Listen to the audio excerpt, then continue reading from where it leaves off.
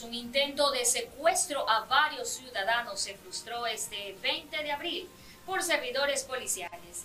El ministro del Interior, Juan Zapata, informó sobre las acciones, las cuales permitieron que la Policía Nacional evite el rapto de personas. Tras un operativo, los agentes del orden también detuvieron a cuatro integrantes de los Águilas, quienes iban a cometer el delito. Ellos fueron capturados en el sector de Pascuales, en Guayaquil de armas de fuego, municiones, celulares y un vehículo, según detalló Juan Zapata.